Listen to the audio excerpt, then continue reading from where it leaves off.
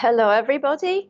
I'm glad to see you all here to uh, see that there are many people who have registered and some people even chatting in our you know chat box already.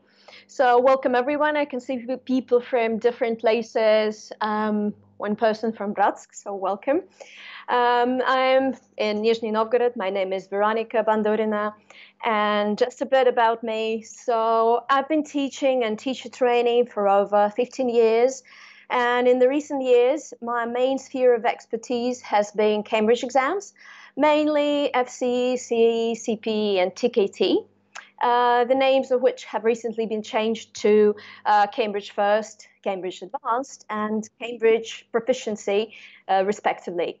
Um, so uh, you might want to ask this question. Uh, why, in our hectic modern world, especially in a megacity, one uh, would want even more stress and pressure with exams? Well, the answer is simple. My reason is not the exam itself. Uh, I would say it is the process of preparation that matters. And we're talking here about life skills, about 21st century skills. My own statistics show that Cambridge Advanced Preparation course teaches you to perceive text differently, written or oral texts. Um, it teaches you to structure your thoughts in another way.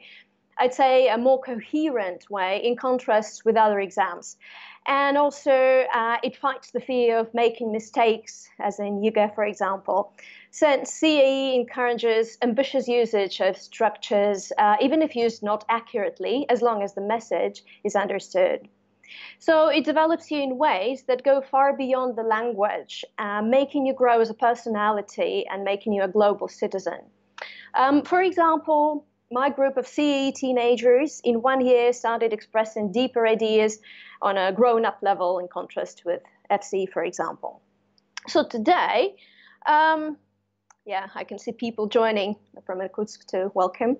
So today we're going to have an overview of this exam, uh, Cambridge Advanced or CAE, which it used to be called uh, what it consists of, and um, some other introductory things that you need to know to start this preparation.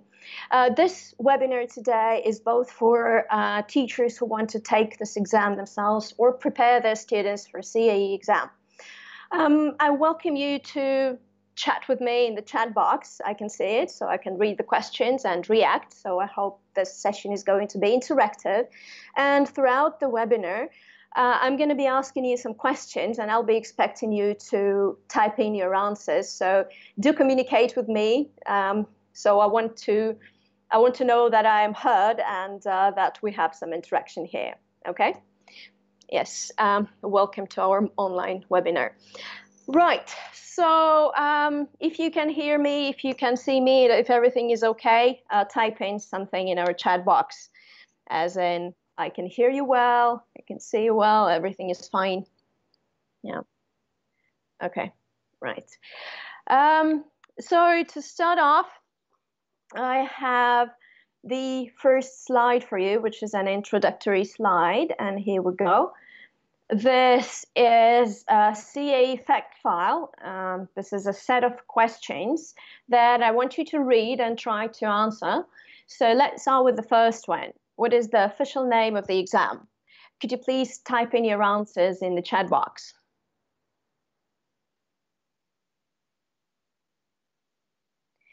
No one is talking to me. Okay. Please, your answers in the chat box. Mm -hmm. Okay. Uh, so I'll wait just a bit more. Yes.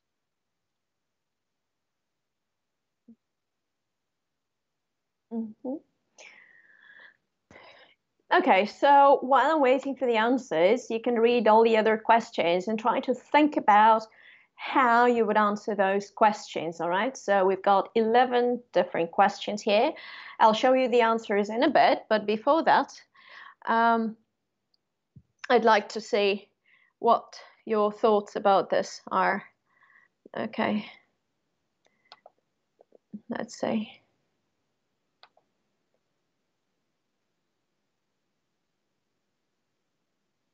Mm-hmm. Okay. Um, so we can start with the first question while uh, we're trying to. Yes. Okay. I can see the first answer. Yes, okay, people are communicating with me. Uh, the first question is What is the official name of the exam? So it used to be called CAE, now they have changed it to Cambridge Advanced. Here is the answer. Uh, uh, as long as all the other ones, like FCE to Cambridge First. So this is the official one, and this is the thing that you're going to have in your certificate, Cambridge Advanced. This is the official name.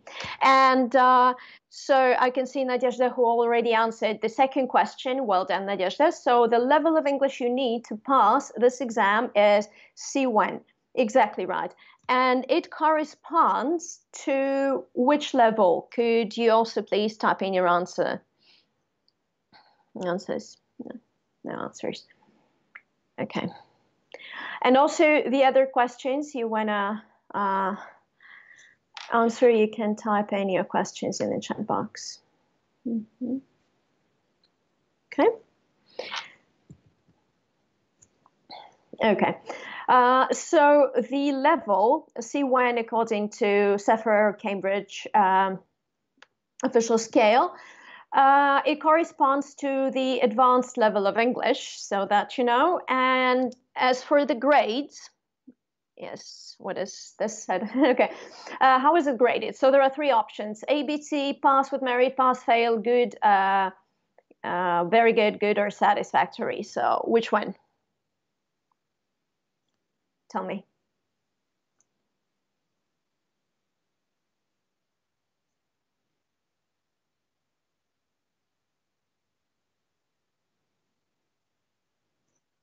Mm-hmm. Okay, so there are no answers. I'd really like you to talk to me here. Okay. Mm-hmm. Anyway, um, it is graded in this way. So the answer is ABC. So the best one obviously is A. Yeah, B is also good, and C is a pass. So, how do these grades correspond to the levels? Obviously, there is some difference. So, if you get uh, Pass C or Pass B or Pass A, there is a difference in the certificate you're going to get. Uh, what would that be? Any ideas? Um, I'm waiting for your answers in the chat box.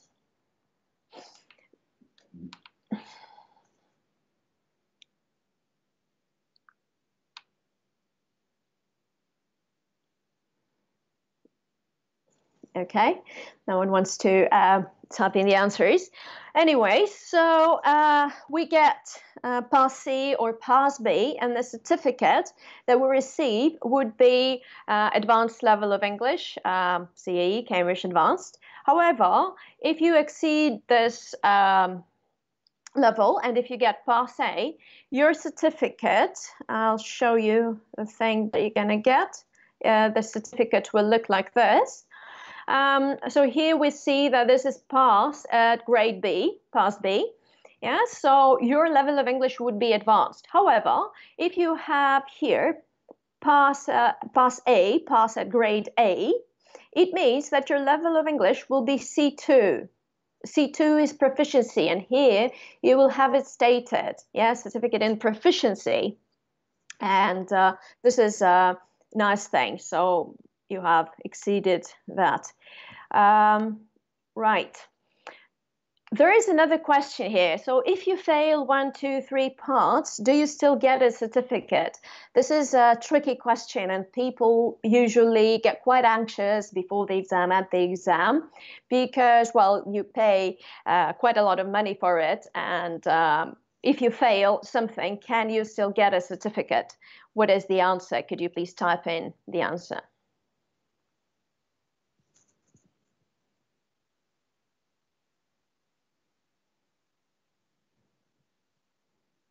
Uh, ladies and gentlemen, I encourage your participation. I'd really appreciate it if you uh, answered my questions in the chat box.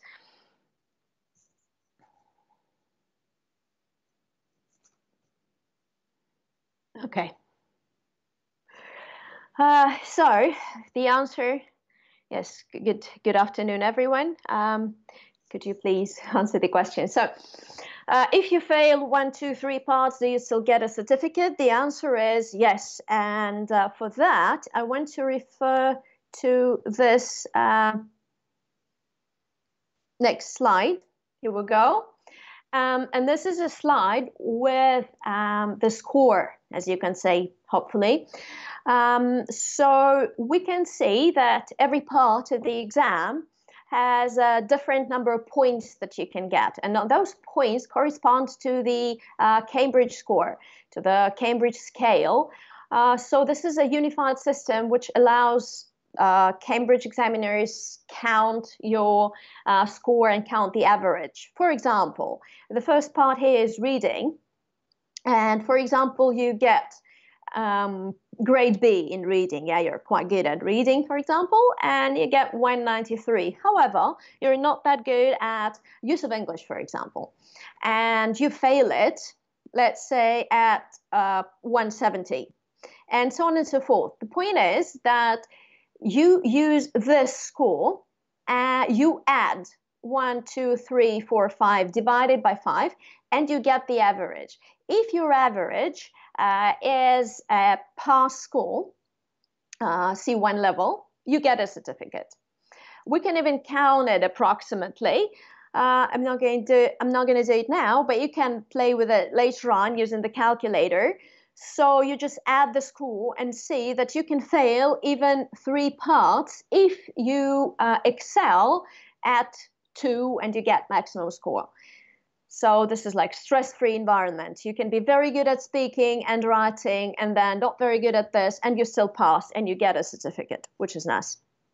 However, even if you fail, uh, as in B2 level, so your average score corresponds to, for example, 170 uh, according to uh, Cambridge school, uh, scale, this scale. Um, and uh, you still get the certificate. Um, and here you will have it stated that you have uh, the upper intermediate level of English. So this exam allows you to get a certificate in three different levels, uh, B2, C1, and C2, which is great. And this is a recent development. They didn't used to have it uh, before. This is very nice. Okay, so we're carrying on. And the answer to this one, do you still get a certificate if you fail something, is yes, you do. The next question is, can you retake this exam? Well, obviously you can. Uh, usually people ask me, how many times can you do that? Well, as many times as you want. And I usually paraphrase it, you know, as much money as you have because the exam is quite pricey. Uh, however, uh, if you have passed C at the exam, um, I'm I'm not sure that you should retake it. Possibly you should aim at the next one. Well, it's your choice. You can decide. How long is this certificate valid for? Uh, well, the expiry date, yeah. So we know that like IELTS and TOEFL, they have their expiry dates, yeah, some years. And here, the beauty is that this is forever. It has no expiry date once you take this exam and you get the certificate, this is forever. And you can use it to apply for a job abroad or study somewhere um, 20 years from now. Obviously, we all know that our level of English is not increasing if we're not practicing it regularly, and the uh, real level of English may not be valid actually, but the certificate will be. The next question is uh, well, hello everyone. Everyone is uh, greeting everyone. Um, the next question is How many parts does the exam have? This is question number 10. I'd still encourage you to type in your answers in the chat box, if you could, please. How many parts? One, two, three, four, or five? I actually showed you the next slide, which had these answers. So if you've been uh, quite attentive, you can answer this question easily.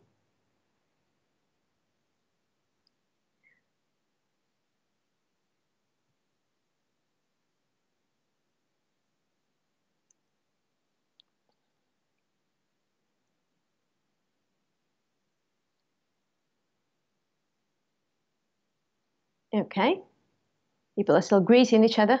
okay. Anyway, Uh, this exam has, okay, last chance to answer? No? okay, right. This exam has five parts. What are the parts? So maybe that question? No? Okay. Um, five parts. And here they are. The first part, reading, then use of English, listening, writing, and speaking. And the score is counted separately for each part. And then, as I have already said, uh, you will get the average, and this will be your score for the exam. Um, some people say that there are full parts. Well, there are full papers that you take because reading and use of English would be one paper, but still counted separately. So now we're going to have a look at those parts and what they consist of and typical problems and uh, mistake exam takers make and my tips on how to deal with those. So the first part, the first paper that you're going to sit at the exam would be reading and use of English. And here is the fact file about the first paper. So once again, this is going to be one paper, but two parts counted separately according to Cambridge scale. Uh, so reading consists of five parts. Uh, in the exam, you'll have them one, five, six, seven, and eight. Parts one and eight will earn you one point per question. Five, six, seven, two points per question. What does it mean? If you if you don't want to type in your answers in the chat box, at least think about it before I give you the the answer. So it basically means that parts one and eight are a bit easier than uh, parts five, six, and seven in the reading part. And the reading part is considered to be the hardest part usually um, possibly because there is not enough time and the tasks are really challenging and all of them are different. They test different sub skills of your uh, reading ability. And this causes some issues. And you also have to get used to the format, which is also important. So my, my tip for you for this part of the exam is do the hard tasks last. We're going to have a look at those uh, parts now in a bit, in a minute. So if you know that this this part is challenging for you and it takes a lot of time, leave it for last. Because if you start doing it at first, you will spend all your time on it and you won't have time for the easier parts, and your score will not be as good as expected. Um, otherwise, when you do the easy parts, and you'll have all the rest of the time for those parts. This would be stress-free environment. You'll know what to do uh, and how much time you have left for those parts. There is one more thing uh, I wanted to tell you about that. So, as in any exam, um, this part, the receptive skills part, the reading use of English part, and, and listening part, you'll have to transfer your answers into the answer sheet, uh, which looks uh, pretty much like any other answer sheet, like in YouGov, for example. So um, there are two ways, right? Usually, um, people um, get together, they tell you, so you have to transfer your answers 10 minutes before the end of the exam. I would advise against that because there are lots of paths and there's stress involved. So I advise you to transfer your answers after each part. You do part one, then two, transfer.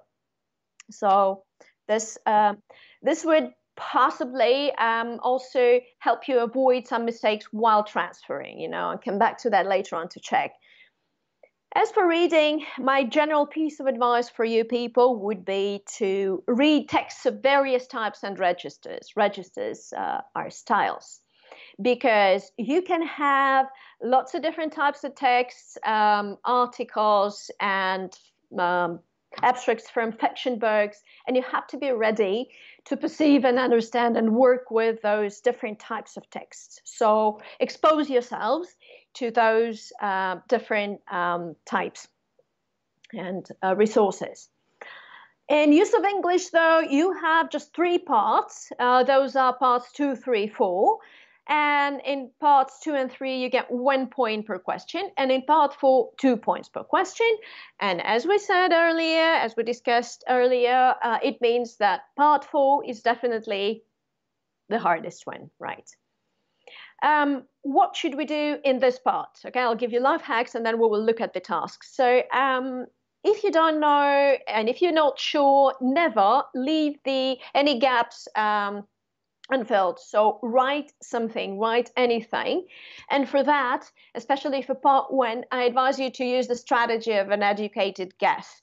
Um, teenagers call it randomizer. Yeah, an educated guess is something that um, you can do using your uh, passive knowledge of the language. And if you can choose not from four but from two, this uh, enhances your chances of success. And definitely, uh, once you read or listen to texts of uh, different types, afterwards exploit those texts for the language because just one book, one course book is never enough to prepare for this exam. The exam is quite challenging. I guess you know it. You, you will see in a bit. So you have to take as much language from the sources, uh, from many resources as you can. And the best sources would be authentic texts of any type. So just use the phrases that you find in the text, um, write them in your um, dictionaries, vocabularies, uh, activate them in speaking and in writing. And this can help you succeed at the exam. So let's look at the at those parts, reading and use of English, just one by one, uh, and what they are and how to uh, deal with them. So this is the first part of the paper, reading and use of English. And the first part, do you remember? Was it reading or use of English? Who remembers? People stopped chatting in the chat box. Hopefully they're listening. I want you to speak to me too, to interact with me would really appreciate it. Okay, so um, the first part is reading. However, many people have a question why? Because basically here you have options. You have to put into the gaps and this is the language that is checked. So why reading? Because for that uh, you need to read and understand the whole text and the answer very frequently lies not in the sentence and the surrounding phrases, but possibly in the paragraph, sometimes in the paragraph after or before that. Uh, and here in this task, um, you are expected to um, know that those are the life hacks. So to know a lot of collocations, yeah, collocations are words that frequently go together. Uh, and you definitely have to look at the context and the frequency because sometimes we can use uh, many words to fit into the gap but um, the frequency matters. So what are the most frequently used words or phrases in this context? Which word is connected to the other word and used more frequently? And for this task i was talking about this um, tip of an educated guess. So let's have a look. Um, you have you can see here this example zero, yeah? And the first sentence, so this text is about studying black bears, right? So this is like an article, possibly from some kind of a science, mm, scientific magazine, possibly, yeah, online maybe. So this person is writing about black bears. And uh, the first sentence goes after after years studying North America, North America's black bears in the and then zero way. And the options are straight, common, everyday, conventional way. So this example uh, already gives you the answer. The answer is D, conventional way.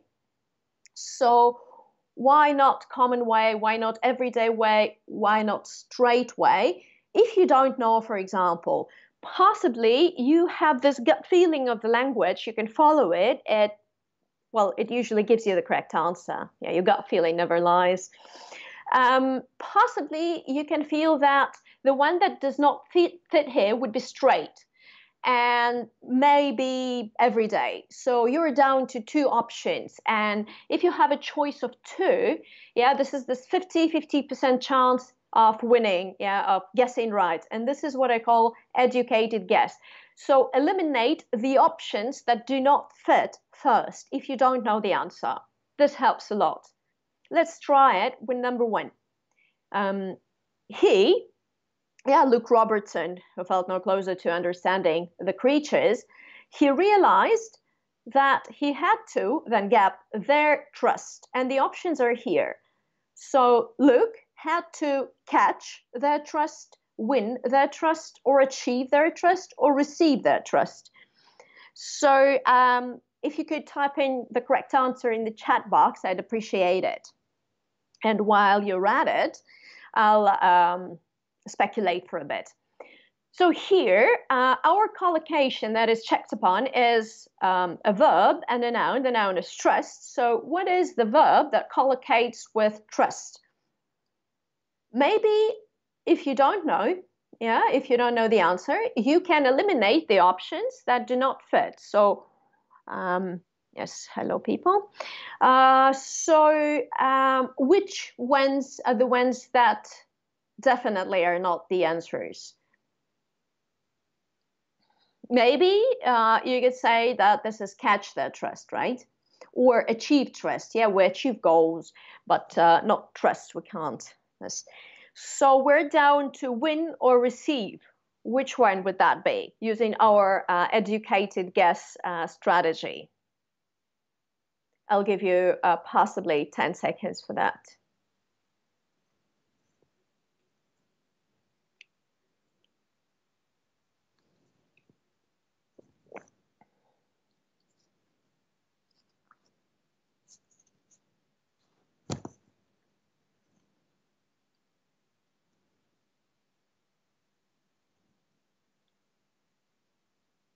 Okay. And the answer is drum roll. Tell me. Tell me. Okay. Even if you haven't, um, if you have not typed in any any options, any answers there in the chat box. Um, even if you haven't, at least think about it, right? So check yourselves. The answer is win their trust. This is B. And this is how it works, okay? The educated guess strategy and how you do this task. And if you carry on doing this, you can see that uh, lots of it is based on collocations, more rarely about grammar, that's about grammar, or sometimes about cohesive uh, devices, right? Like despite the fact that, something like that. So this is task number one. And once again, this is reading. And here you get one point per each answer. If you don't know the answer here, educated guess. Don't leave the gap uh, unfilled part two of your uh, first paper that you're going to sit at the exam is about reading use of English. Okay, right. This is use of English.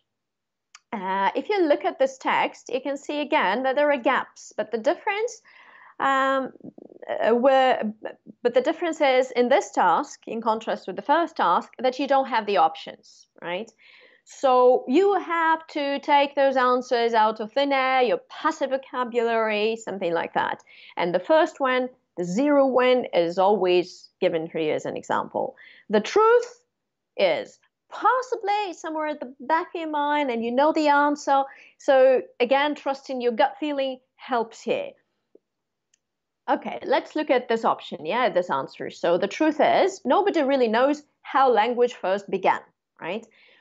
So um, what is this? Yeah, this is an auxiliary. This is a verb here. Yeah, and uh, this is this verb is part of this phrase. The truth is, and it it also is a collocation. So here we also speak about vocabulary a lot, and also grammar. Yeah, grammatical structures are somehow checked upon in this task too. In each gap, you can write only one word. Okay, um, one word fits. And sometimes there are options. Yeah, in the answers, you have options. Mm. Mostly here, you have functional words, meaning that you won't be asked to write like um, different, uh, for example, adjectives, synonyms, uh, beautiful, amazing. Yeah, mostly functional words. And the answer is kind of clear from the context. It relies on frequency again and collocations. Uh, so we can look at this next gap here. Uh, so the first, this this text is about the origin of language. So the truth is, nobody really knows how language first began. Um, did we all start talking at around the same time? Then one word is missing. Of the manner in which our brains had begun to develop. So what is missing in this gap? This is, you know, somehow more challenging than the first one because the first one was like boom, yeah, it was kind of something that shoots. Um, and if you also could type in your answers, I'd appreciate it, or at least think about it. Yeah, think about the answer while you're doing that. Um, I'll keep talking and giving you tips. So here, uh, with this gap, which is kind of challenging, and usually uh, it causes some issues, and people panic and they say, "I don't know what is here." So read carefully. Yeah, read the sentence before that. Sometimes it gives you the answer because if you look at that, the truth is nobody really knows. Yeah, so there is some kind of opposition in this. Yeah, did we all start talking at around the same time? So which word connects the first part of the sentence and the second one of the manner in which our brains had begun to develop? So which one is missing? What do you think? which word uh, collocates with off, and this is a, a linker here. Okay, so the answer is the answer is because. Yeah. Did we all start talking at around the same time because of the manner in which our brains had begun to develop? How to check? Well, the sentence should make sense. Uh, the sentence before that, and this sentence, and the rest of the text. So once you do this task, um, don't be lazy and read the whole text again for all of it to make sense. If you don't know, again, uh, don't don't leave the gap blank. Write something, anything. You might guess the correct answer. So part two will give you will earn you one point per question again, and this is use of English already. Okay, part three, reading the use of English. Do you remember? Part three, use of English. And this might look really familiar to most of you preparing for uh, Diga. This is a word building, word formation activity uh, task in which you have a text and words, you know, this right column.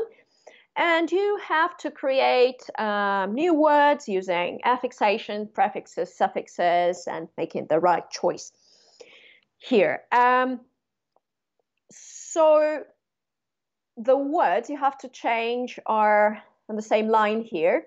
As in here you have professional, and the first, uh, the zero option is given it's professional, so we create an adjective from a noun, nothing fancy. Um, so the things that uh, sometimes you might want to uh, leave the word as it is, you cannot do that here. You have to change the word somehow in any way that you can. Even if you feel that this is kind of okay for this gap, you have to change it. The questions you should ask uh, yourselves, well, definitely you should read the context. And again, here uh, in this exam, context is not the phrase before and after. Mm, sometimes go it goes beyond the sentence even the sentence before the sentence after and you have to ask yourselves the following questions like what is the part of speech that i need here? Uh, is the meaning positive or negative yeah possibly this uh, could help and then transform the word somehow for example so here we have uh, the text about sport champions, training sports champions. So, what are the abilities that a professional sports person needs? Yeah, very question.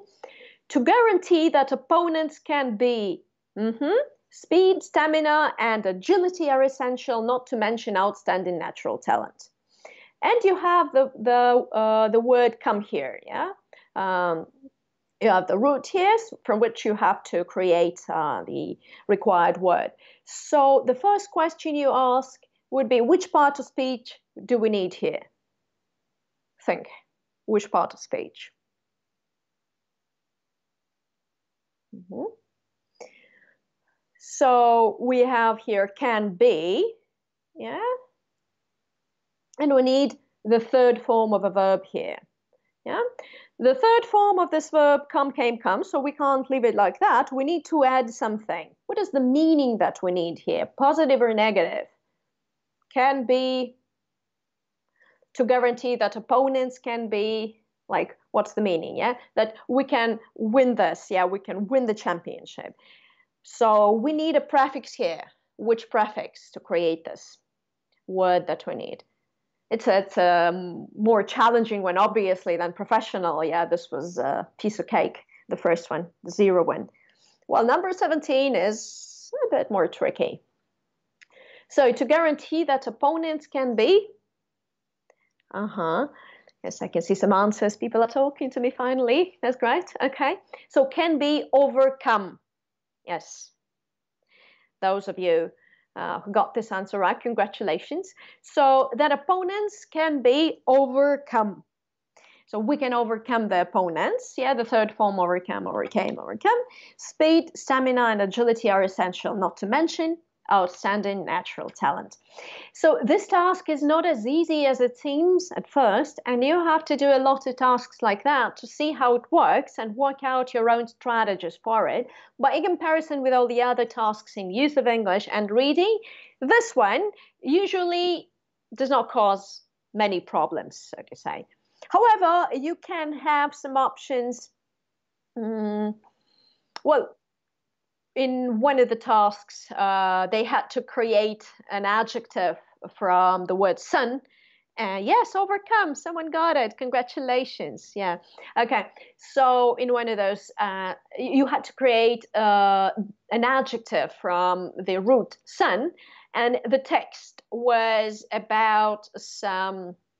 Uh, I don't remember some planet, something like that. So the adjective was solar. Basically, what was left from sun was the first letter. So sometimes uh, the uh, answers are more challenging, while in other cases you get profession professional. Yeah. Okay. So don't leave the word unchanged. Look at the context and ask yourselves uh, two questions: uh, parts of speech, positive or negative. That is part three, use of English. Now we're here at possibly the most challenging part in the sequence. This is part four. And once again, reading or use of English, who remembers? Right?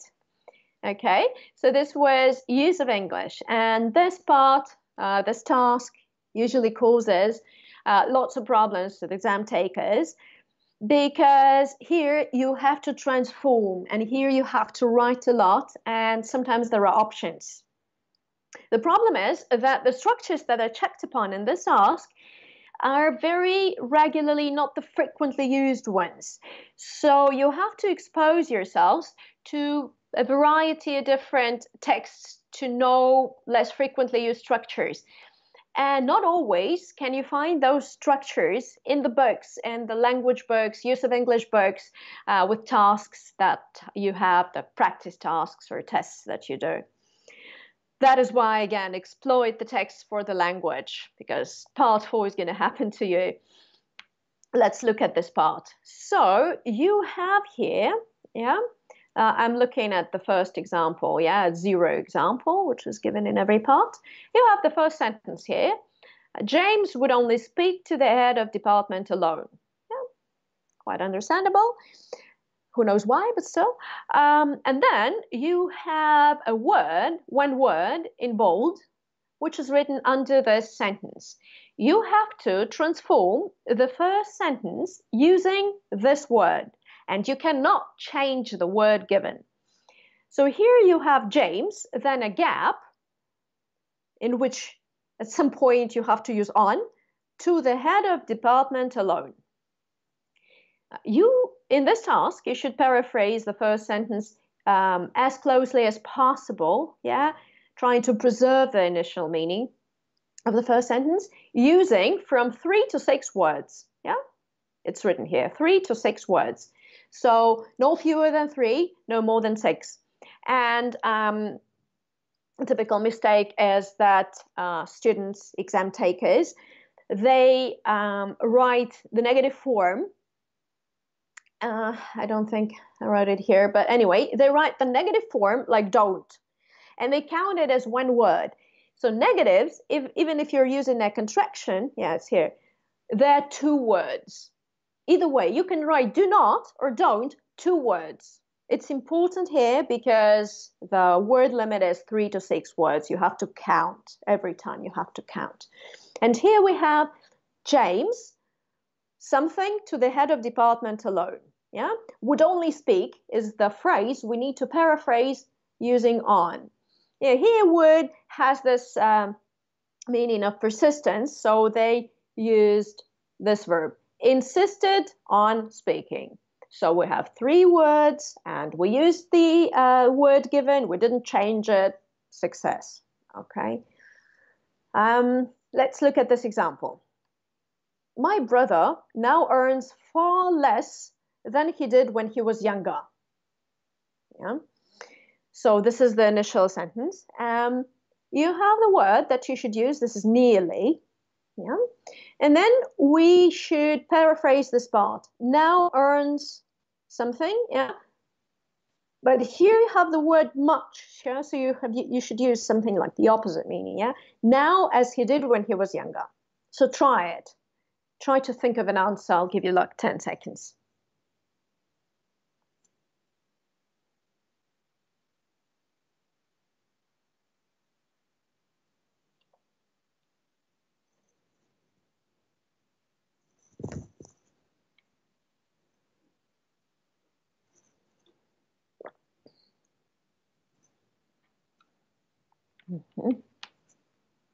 Okay.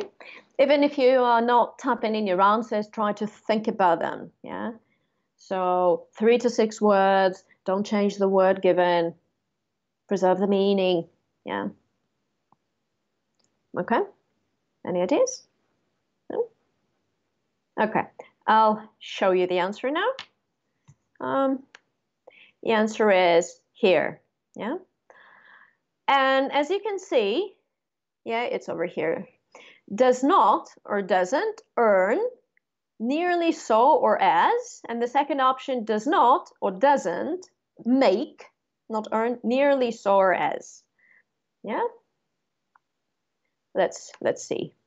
So here, uh, does not earn nearly as much now as he did when he was younger, or does not, two words, does not, doesn't, yeah, uh, make nearly so much as he did when he was younger. So, looking at the answers, you can see two things. The first thing I was talking about does not, doesn't. Uh, two words, either way, and you can write it uh, in two ways contraction or the full form, and it is still counted as the correct one. And then there are options, you know, earn or make, so as. So this task allows for some variations in the answers. So uh, as long as it is correct grammatically and lexically. So this is how it works. Part four. And this is the official end of uh, the use of English part of this paper, three tasks, two, three, and four. And the rest of the tasks here will be reading, which are usually more challenging. Um, if you ask me, so students or exam takers, uh, they usually come back from the exam and they say it took them 10, 15 minutes to do the use of English part because here it's either you know or you don't uh, spending time or wasting time, precious time at the exam, which is never enough for this paper, on trying to remember this or that uh, does not do you any good. So you know you write it, you don't, you skip it, uh, or write at least something. Don't leave the gap blank. Spend this precious time on reading because reading is a killer in this exam. The first part, reading, you've seen already. This part five is kind of an okay part uh, because it is logical and it is something we're well used to.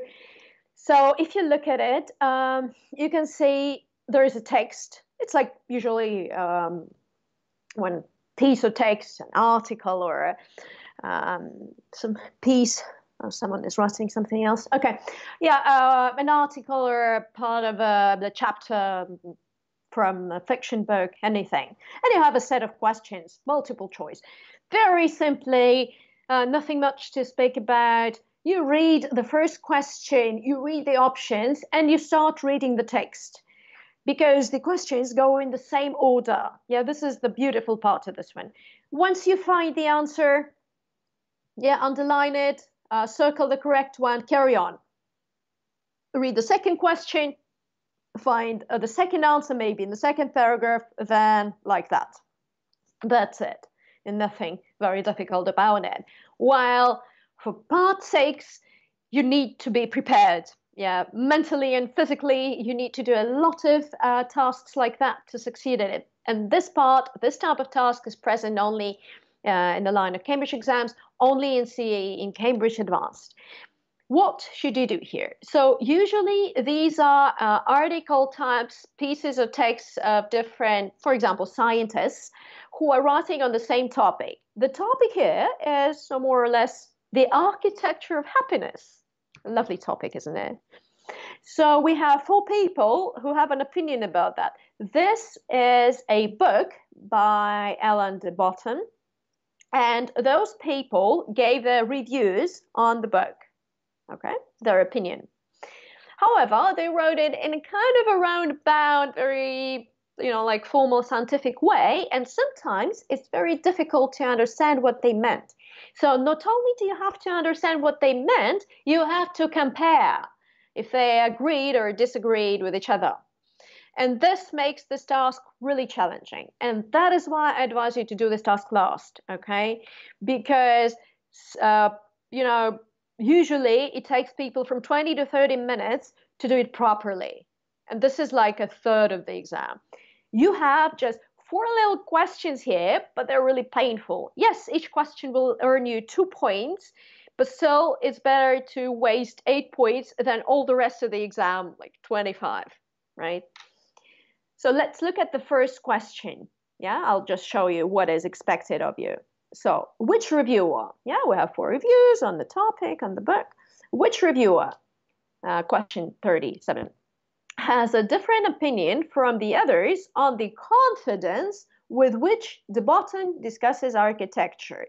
Let's leave the first part of the question uh, alone for a bit. Okay, uh, different opinion doesn't matter. So, confidence with which de Botton discusses architecture. So, we should look through the text and find the information in each text about how confident the reviewer felt this um, author was about what he was writing. In the first text, yeah, the first reviewer has this phrase typical self-assurance yeah self-assurance confidence synonyms so basically the person was uh, so he thinks that de Botton was quite confident right the second reviewer uh, help and support of earlier authors on the subject term yeah, help and support. So he needed the help of support of early authors on this subject. Yeah, I'm reading from here. So is this a reviewer? What is the opinion of this reviewer? Does he think that um, de Botton was confident about architecture or not? Yeah, you're right. So he was not very confident at this point. Reviewers C bold and amusing judgments. Yeah, also synonyms to confidence, bold, amusing judgments, quite confident. And the last reviewer certainly writes with conviction, conviction, another synonym. So as you can see, you don't see the word confidence per se as it is in, in any other texts, but you see some synonyms, yeah, some roundabout way to express the idea of confidence. And if you underline those phrases in each of those texts it is quite visual now and obvious uh, what the answer to the first question is. So, uh, reviewer A says confident. Yeah, reviewer C says confident. D confident. While B says that he needed help and support of other authors, right? So not very confident. That is why which reviewer has a different opinion from others? Yeah, different opinion. The answer would be B. Yeah? Okay.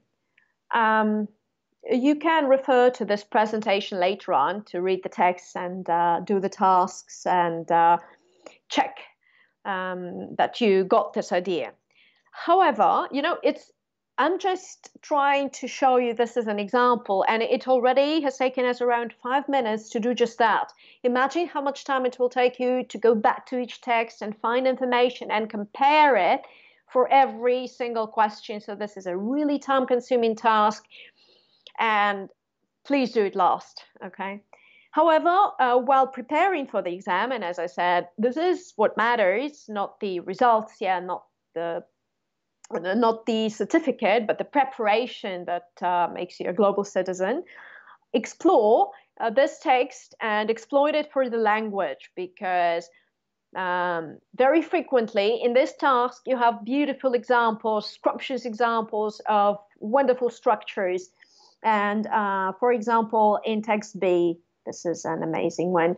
Um, architecture is perplexing in how inconsistent is its capacity to generate happiness. Yeah, beautiful one. And in text C, uh, can convey meaning and alter consciousness. So convey meaning, uh, express meaning, there are synonyms, yeah, but convey meaning is a more beautiful collocation, which you can, by the way, meet in part one of your exam. So take out those phrases from these texts, yeah, alter consciousness instead of change consciousness.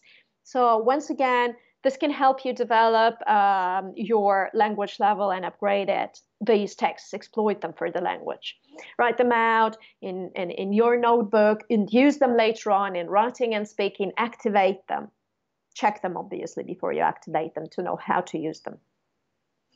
And I advise against using uh, separate words. Yeah, use collocations. This exam is about collocations. It's not about just the word alter. Yeah, because if you um, check the word alter in the dictionary, you'll have an entry which is like several pages long. Yeah, and you need a phrase how to use it, a ready-made phrase. Yeah, alter consciousness, for example, or convey meaning. Yeah, you know, convey ideas. So, well, good luck with part six with. Um, proper um, preparation and practice, I'm pretty sure you can succeed at that. It just needs some, well, basically some getting used to. Yeah. The next part is also um, hit with everyone. Um, to tell you the truth, this is my least favorite part of the exam. Um, be CAE or CPE, you have the same task there. The task looks like this you've got a text and you've got gaps here. Um, what Cambridge examiners, for some particular reason, did, they just took those paragraphs out of the text and then jumbled them so that you could later on put them back into the text in the correct order. The problem is that you have six gaps and how many options? Right, seven, which means that one paragraph is extra. And this distractor is usually created in a really smart way to bewilder you and confuse you and all of those wonderful things. Uh, what helps here? Well, why I dislike this task? Because for me, it is it seems artificial. Uh, where in life, why would you have to reconstruct this text? What helps? Uh, for me, you can take any text, basically, it doesn't matter which type. Yeah, here we have a text about Scottish wildcat, right? Kind of an article again. Um, you just take a text, an article or something like that, and you just cut it into 1,000 little pieces, and then you put it back together. And you basically you don't even need um, exam test um, type tasks to practice this. Yeah, just put them together, practice and see how it works for you. This task, it checks your ability to spot cohesion and coherence in the text, yeah? How the paragraphs are connected, uh, linkers, cohesive devices, synonyms, everything, yeah? What makes uh, those paragraphs uh, fit together as a text? What unites them? Let's look at the first one. Know, here, zero example is not given, unfortunately. Okay, it starts off nicely. On my living room wall, I have a painting of a wildcat. Why? Who knows? Yeah, uh, by John Holmes, of which I'm extremely fond. It depicts a snarling, spitting animal, teeth bared and back arched, um, a tall, coiled uh, spring, ready to unleash some unknown fury. A nice introduction, yeah, just sets the mood. Then the paragraph is missing, and if you read the next paragraph, it starts with however. So in the previous paragraph, which is missing, which you have to put in there, there um, there is some opposition, yeah, the opposite idea to it. So if you look through the options, yeah, you can you may not even read until the end. Yeah, you can start reading the first line. You have the recruitment of men to the armed forces during. Yeah, obviously the topic is not this topic. Yeah, so you don't have to uh, carry on reading. Try the next one. The wildcat waits for a while and rapt concentration. Yeah, you can read this one. Maybe it is. But here, um, possibly it's not the description of this, uh, what was it, painting. Yeah. So read the look through the next ones and give me your guess. Okay, I'll give you 10 seconds to type in the answer. If it's C, D, E, F, or J.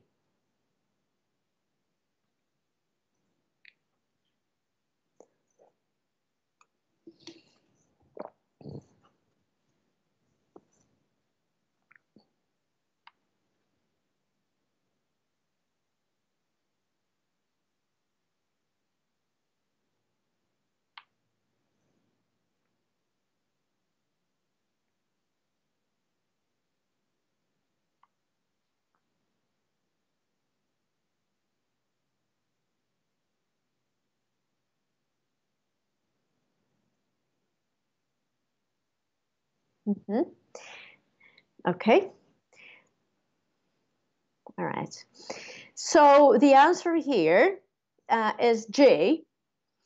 And you can see here, it is a typical image. Yes, so we have this connection to, oh, I'm sorry, uh, to um, painting image. And you can see it is a typical image most folk have of the beast but it is very much a false one. Yeah, for the wildcat is little more than a bigger version of the domestic cat. And here you have kind of opposition to the first paragraph, which said like bad teeth, you know, an aggressive creature. And then in the next paragraph, opposition again. However, the physical differences are tangible. Yeah, wildcat is much is a much larger animal. This is opposition to this paragraph, which says that uh, wildcat uh, is a little more than a bigger version of a domestic cat. So this is how it works. You put those paragraphs back into the text where they belong, and once you've done that, in this uh, part of the exam, it is obligatory that you read the whole text for it to make sense. If you skip this part, if you skip the stage, uh, you might miss out on some things. Everything should be connected. The paragraph before, the paragraph after, everything should blend into one unity, a beautiful piece of text which you can explore for the language la- later on, um, exploited for collocations and grammar constructions. This was part seven uh, of your reading part, and this is part eight. I'm not going to speak a lot about that because we've got three more parts to speak about and not very much time left. So here we've got several texts and a set of questions. Um, and it will earn you one point per each. Uh, the only thing I want to tell you about this one, usually uh, all exam all examiners or all teachers tell you to read the questions first. In this task, it is kind of useless because you've got a lot of questions, and by the fifth one, you possibly will forget um, about the first one. So, what I advise you to do is read the first text. Yeah, it is more or less clear what it is about, and then look through the options because this is scanning. You have to scan the text to find the uh, corresponding options. They are synonyms. Obviously, you won't find the same words there. So the text first, and then um, find the options, then the second text, which options are about this text, etc. And when you have some questions left unanswered, this may be the case, you can briefly come back. You will already remember approximately what each text was about. So this is how I advise you to do to deal with this task. Okay. This is it. Finally, we're done with reading and use of English. Uh, this is a challenging part, and to um, succeed in it, you need to practice a lot, obviously. Writing is the next part. Uh, a brief fact file about writing. So you have to write two things. That there will be two tasks in the exam uh, you will be given 1 hour and 30 minutes, 90 minutes for both parts. um, the first part will be obligatory. It will always be an essay, no choice. While the second part, you'll have a choice of three. And there you will be checked upon different registers, formal, formal, semi-formal, informal registers, and you will have to write one of the following. Report, proposal, review, letter. Uh, the point is that for writing to um, to begin at it, you have to know the format very well. You have to know the layout, the phrases, yeah. And for that, I advise you to have a look through this book. Yeah, it's Gold Advanced. At the back of this book, there's a writing folder, which is really good in terms of the layout, the useful phrases. There are numerous there, so have a look through. And uh, very good examples, samples of reports, so or proposals. Uh, I advise against writing drafts because for two pieces of writing, which are 220 to 160 words, there won't be enough time, definitely. Yeah, so no drafts. I know this is stressful, but you can, you know, make corrections, yeah, cross out words as long as it's understandable. This is fine. Uh, yes, so the first task, uh, the writing criteria uh, assessment. So there will be four things that the Cambridge examiners will look at. The first thing, content, yeah. So are you um, on topic or off topic? Yeah. So if the task requires you to write about, um, for example, uh, how education can help you find a proper job, and you start writing about education, yeah, this is off topic. You have to write about those two things in conjunction. This is content. Communicative achievement. Basically, here we speak about style, yeah, and uh, how well you send the message, how well your text is understood.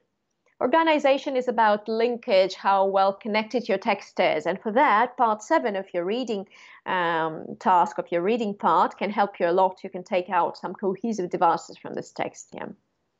And also the layout, yeah, for reports and proposals. For example, you have to use headings. Language, obviously, is the fourth criterion.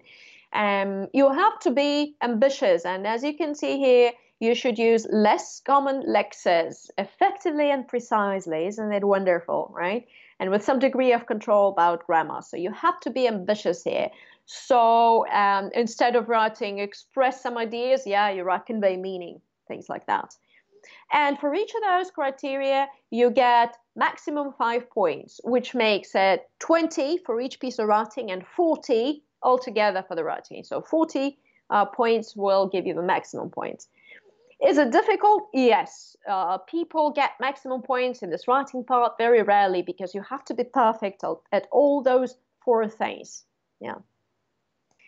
So, uh, as an example of the first part, which is uh, an essay, you can look at the task and see that you have a question which facilities should receive money from local authorities, and you have three options, and you have some opinions. So you should write your essay discussing two of those options, and you may use these opinions to help you or not. Up to you. Right? Um, so here, you should also justify your uh, ideas. So you should give reasons, obviously, and examples. Yeah, should be all, all linked.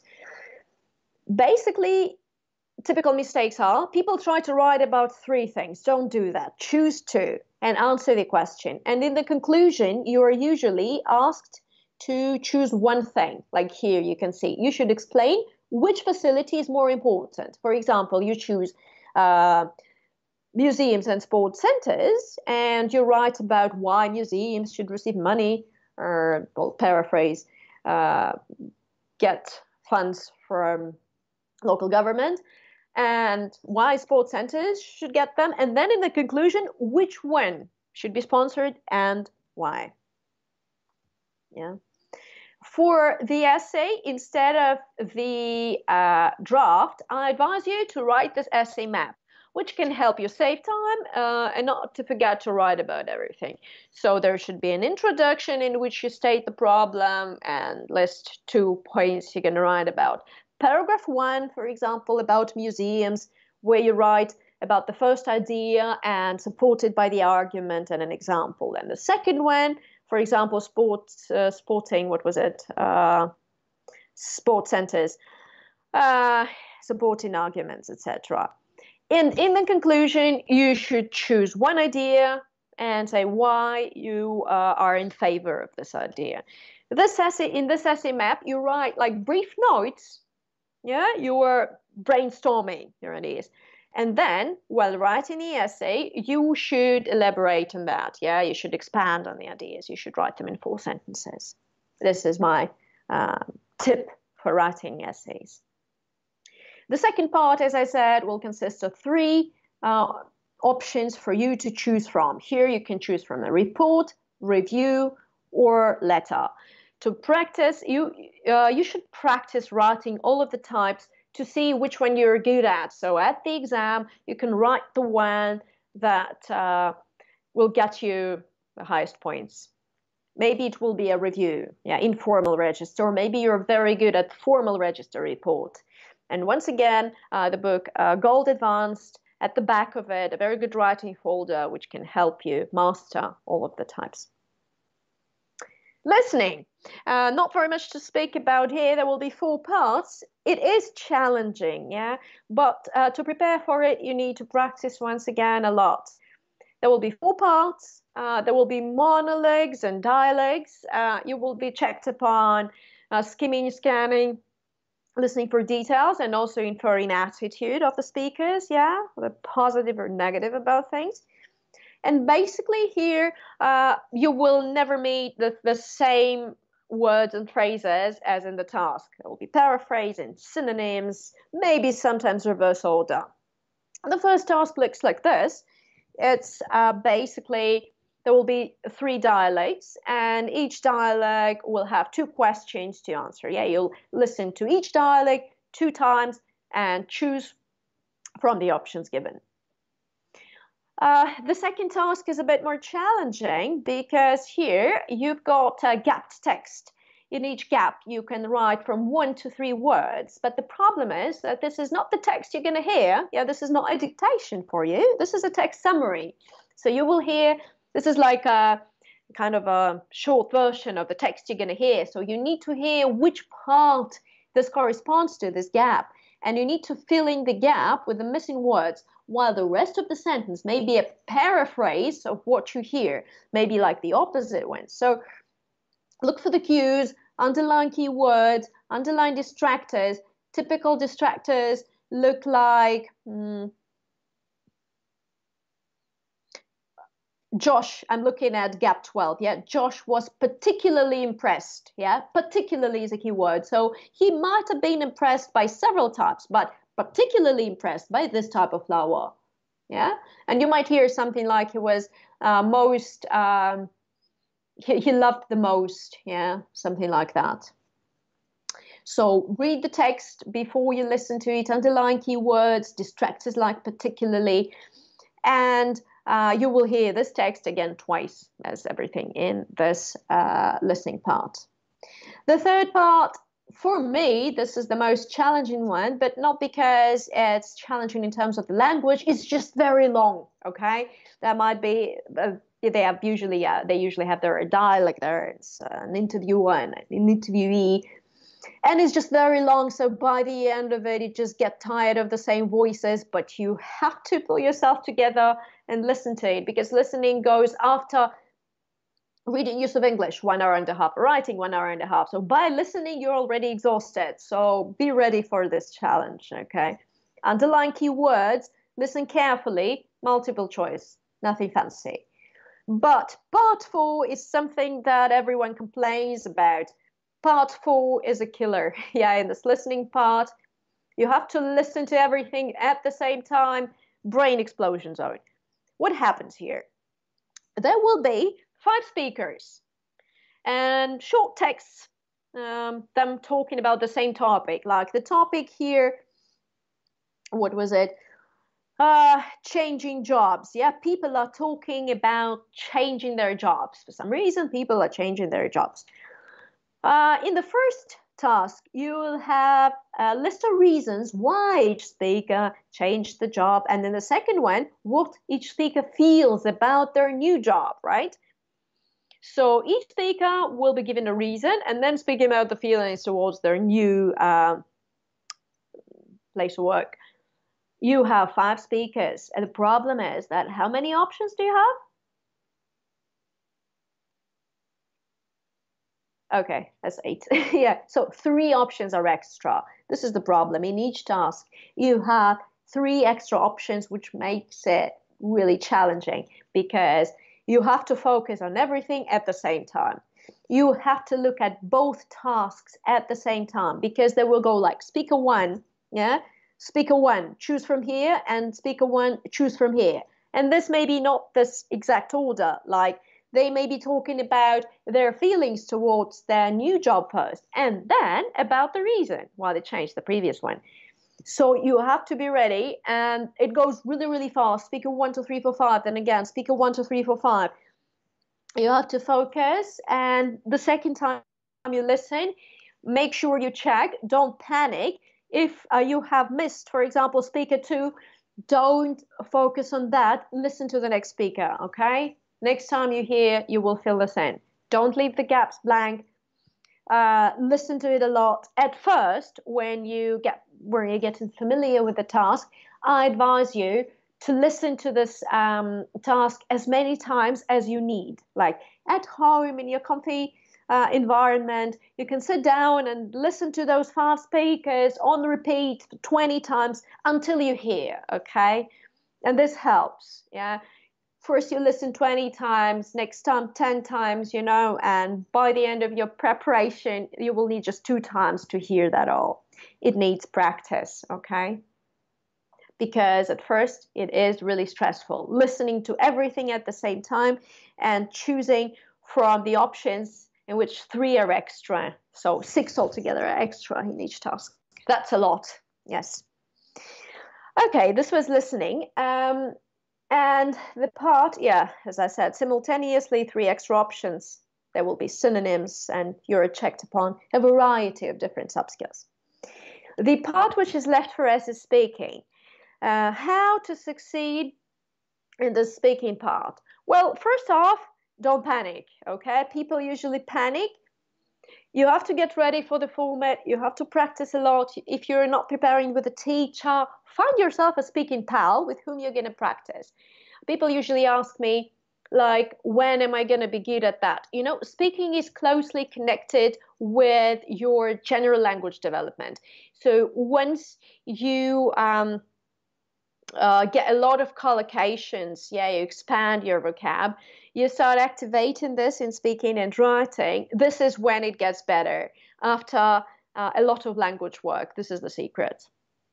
There will be four parts uh, in speaking. And um, in the exam room, just to prepare you for that, you will have four people.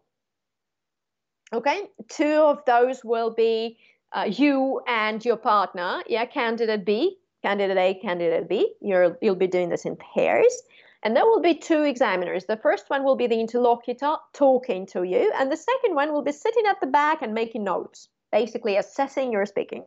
So make sure that, that you're not scared and you're mentally prepared for this number of people in the room. Um, there will be different times. You'll, you'll be expected uh, to give a monologue and dialogue with your partner. So let's look at the parts. Yeah, this is the assessment grade again. You will have five criteria here in contrast with writing. Grammar and lexis here are assessed separately, so you have to be very good at grammar and lexis, and they're given different points. So discourse management, which is about uh, connecting your ideas and using linkers and being fluent.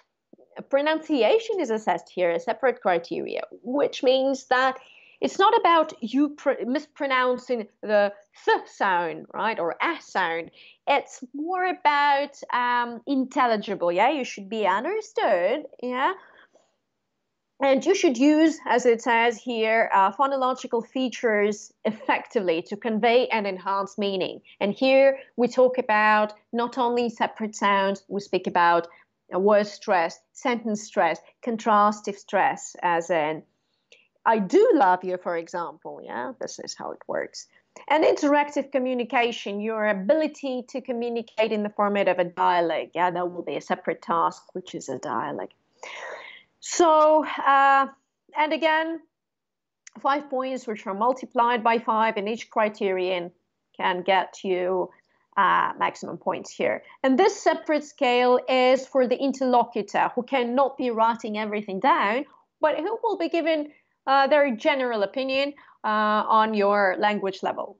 Yeah, just generally handles communication on a wide range of topics. Yeah. Mind that an interesting fact that here you do not see the criterion which is content. It's beautiful, isn't it? No one cares about what exactly you say, yeah, as long as you say it in all of those five beautiful ways. So don't be afraid to express your opinion. No one will punish you for it, okay? You're free to have your own opinion on something and express it.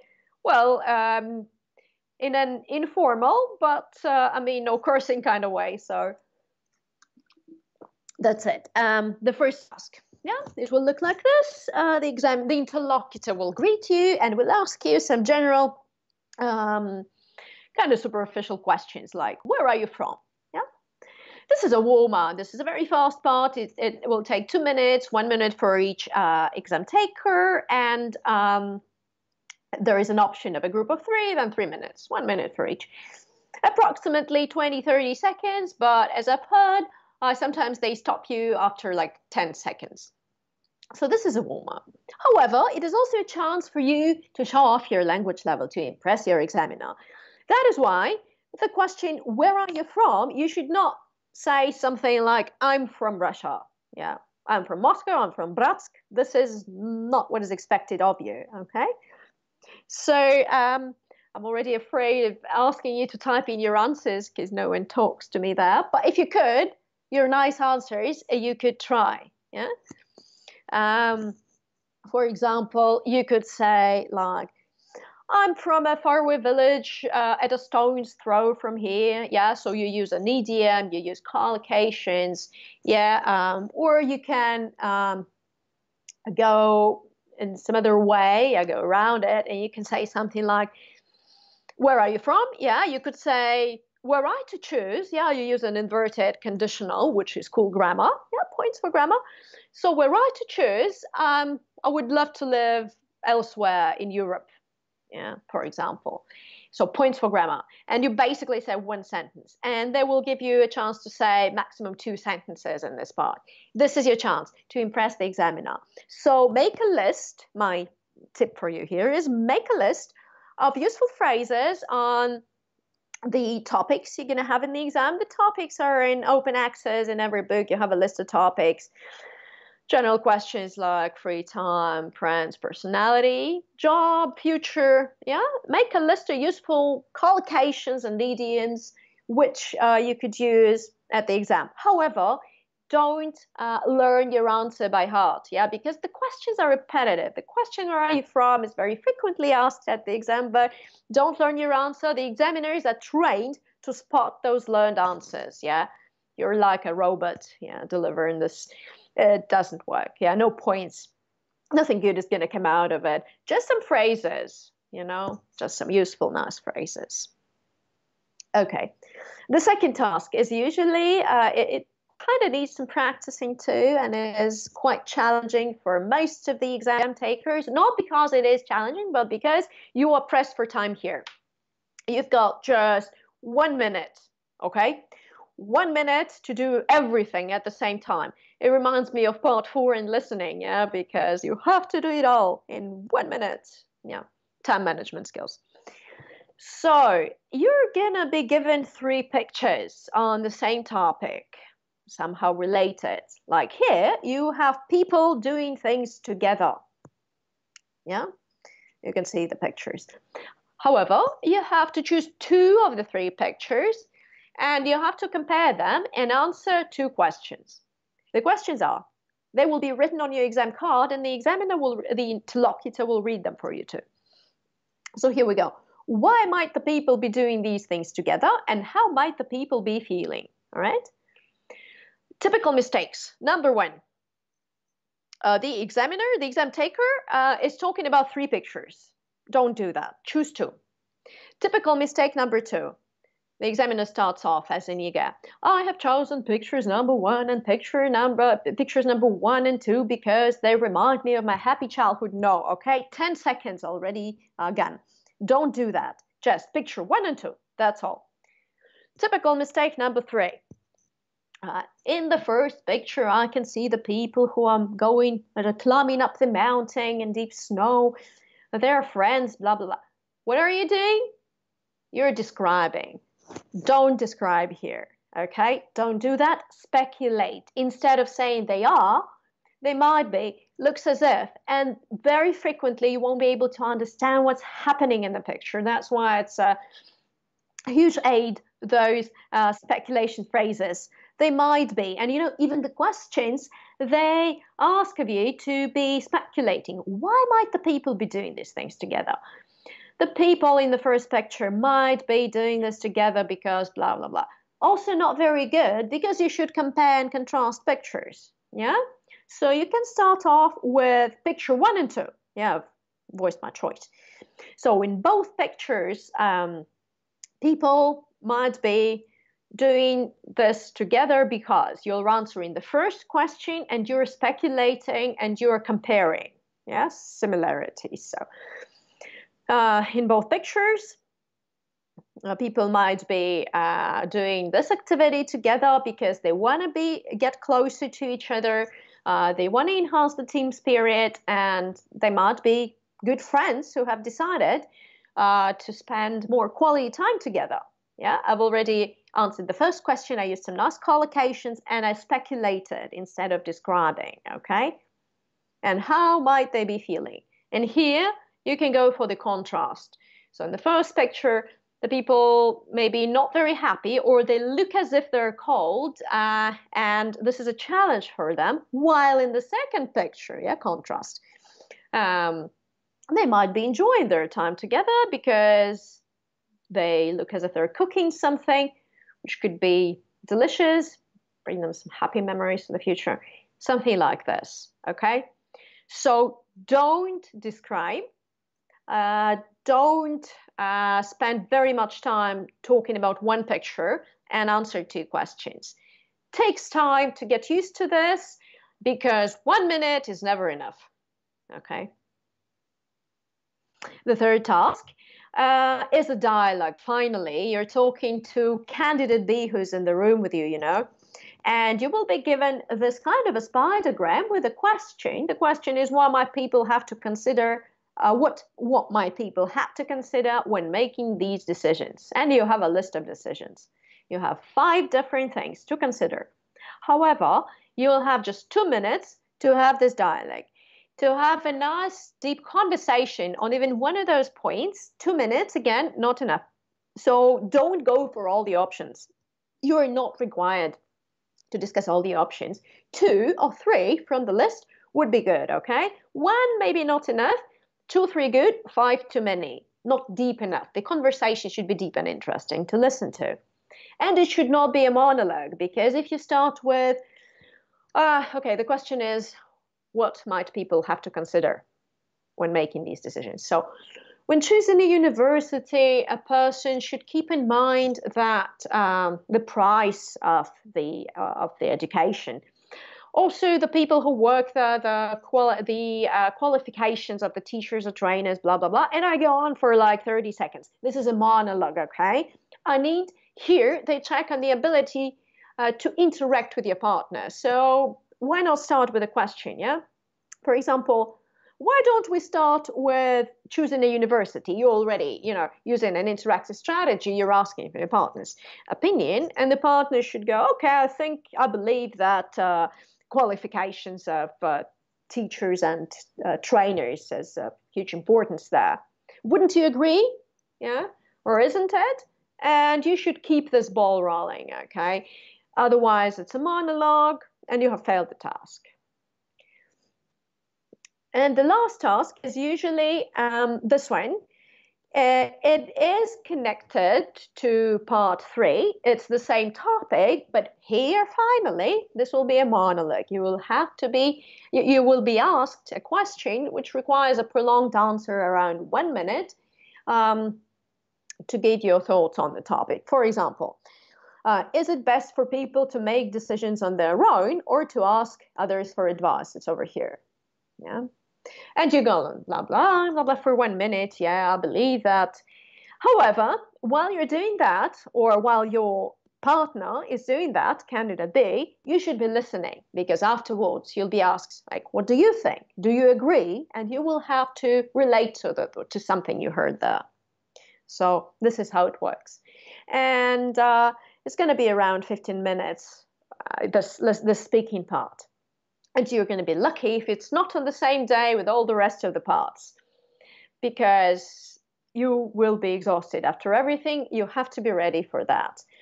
And my personal tip for you about speaking is um, get to know your partner before entering the room. You'll usually know what time you're going to enter the room at, like 12 15.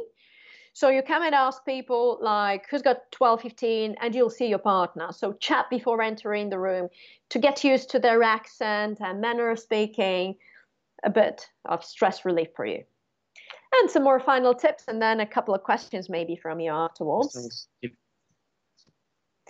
So basically, these are the tips. Don't panic, right? Uh, it's gonna be fine anyway. Hard tasks last. Mistakes are okay practice and read and listen to a lot of things. And we still have a couple of questions, um, a couple of minutes for your questions if you have any.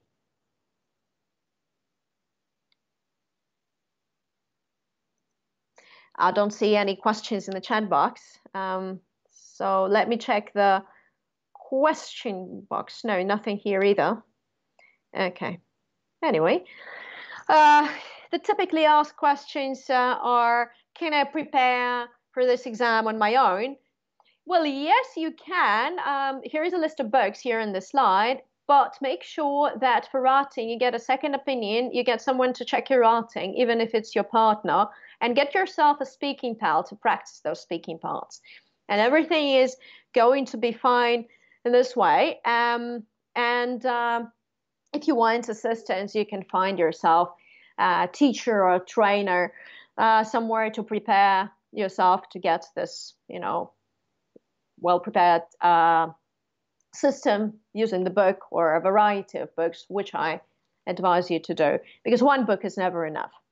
And I thank you very much uh, for joining us today, for listening to us. Unfortunately, I didn't get very much interaction in the chat box, but I hope that this was useful for you and you got the idea, the introductory of the of this exam. If you want more, we're going to start a course on Monday where in which I'm going to give you more details on each part, more exam strategies, more tips, and definitely we will discuss writing and speaking and all the other parts in more detail. So join us, um, and uh, I hope this was useful. And uh, if you're going to join, I promise you that the course is going to be useful too. We will have three Mondays uh, from 6 to 9.15 um, in the evenings starting next week, I think.